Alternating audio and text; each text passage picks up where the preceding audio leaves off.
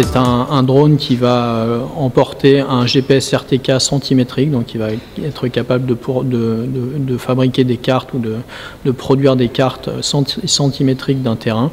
C'est un drone qui a des, fonctions avancées de télécommunication, donc 3G, euh, une possibilité de communiquer en 3G, 4G euh, pour des déploiements sur des distances quelconques hors de portée de vue de l'opérateur.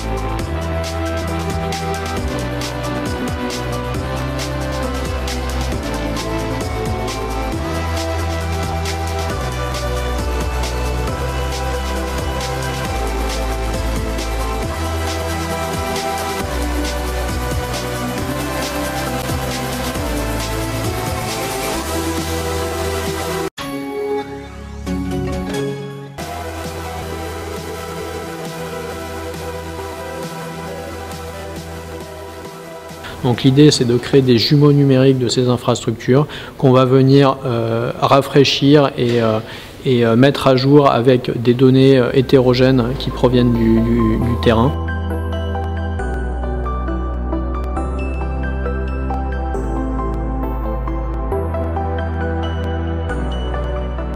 Dans ce partenariat commercial qu'on a avec Intel. Intel se charge du go-to-market et de euh, développer euh, commercialement cette offre euh, partout dans le monde auprès des grands comptes qui sont nos clients.